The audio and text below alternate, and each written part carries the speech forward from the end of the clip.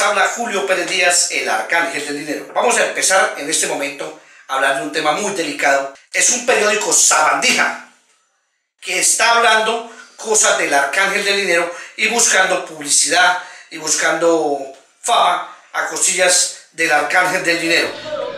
Estos billeticos, ellas en la piscina se me mojaron y los tengo secando. Aquí tengo para dar una donación a los pobres. Estos billeticos los tengo para otra donación. Pero ¿cuál es el chat del WhatsApp?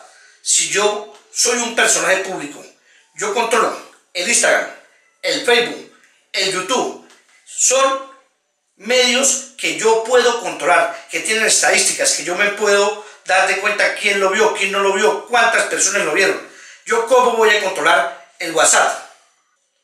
¿Cuál alcalde nombro yo ahí en mi video? Ustedes pueden ver, les voy a mostrar que en ese video yo no hablo de ningún alcalde.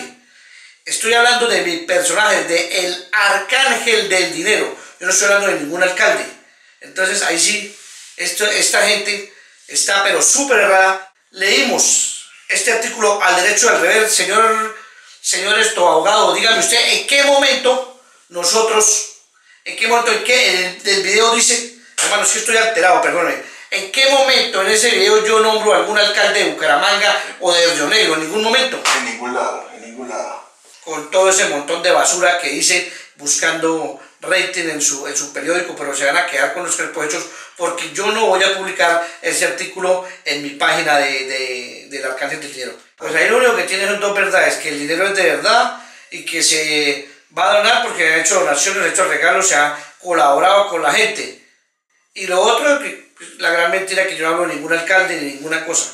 De aquí empiezan los problemas, ahí vienen las cosas, los comentarios, y mejor dicho, esto es una basura de periódico, son puros aprendices, y lo más que todavía me parece que es anónimo porque no dice qué, qué persona de ese periódico lo escribió. Pues claro, yo siempre, ustedes han visto mis videos donde yo me baño en el, en el jacuzzi, mojo mi video, los boto al río y mojo mi plata y después la pongo a secar. Eso no es ninguna mentira y todo el mundo lo ve en Facebook, en Instagram y, en YouTube. Entonces eso no es ningún secreto.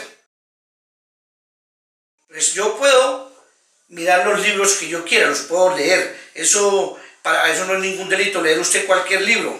Usted puede leer, leerse el Kama Sutra, eh, cualquier, cualquier libro de, de Gabriel García Márquez, eso no es delito en Colombia. Entonces, ahí que yo lea libros de Pablo Escobar, eso no tiene nada que ver.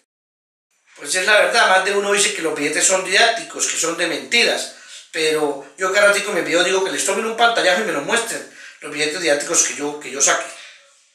¿Cuáles autoridades? ¿Cuáles autoridades? A ver, si, uno, si yo fuera un delincuente, o si eso fuese cierto, ¿por qué no dicen la fiscalía, la policía, la CIGIL? ¿A cuál autoridad competente tiene que el arcángel del dinero ir y presentarse? Porque el arcángel del dinero, sus dineros son derechos, son de trabajo, del sudor de 40 años de camello del arcángel del dinero. Yo, Julio Pérez Díaz, el arcángel del dinero, estoy disponible o soy materia disponible para las autoridades competentes de Colombia, de Bucaramanga, de Santander, para una indagatoria, para una cita con ellos, para lo que ellos quieran, yo estoy disponible. Yo no estoy huyendo, no estoy prófugo de la justicia. En cualquier momento puede la fiscalía, la sigil, la policía, cualquier medio